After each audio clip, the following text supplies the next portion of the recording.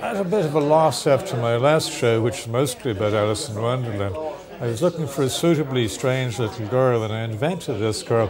When I had painted three pictures of her, I wanted to know what her name was. Mysteriously, onto the radio came Roxy Music singing What's Her Name, Virginia Plain. And I said, That's her name, Virginia Plain. I wanted just to have some character to put into vaguely surreal situations.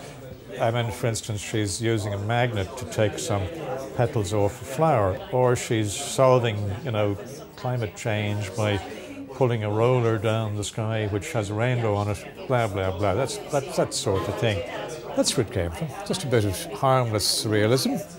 I'm finding stuff out about colour that I didn't know, and I'm extremely pleased how highly coloured these are and how they seem to work. Maybe I got it right this time. I don't know.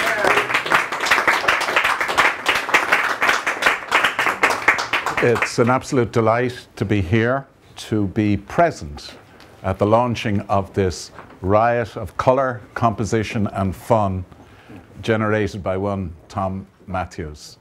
Some people uh, will say that the pun is the lowest form of wit. Well, I can assure you, Tom and myself would not agree with that axiom. The picture on the, the poster and the invitation uh, features his protagonista, uh, Virginia, uh, displayed or decked out rather like Velázquez decked out the princess in Las Meninas, which I know Tom uh, reveres as a wonderful painting and which I do as well.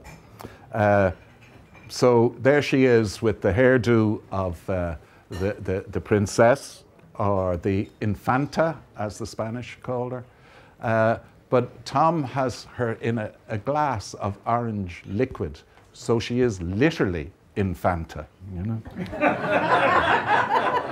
so these are the things. You,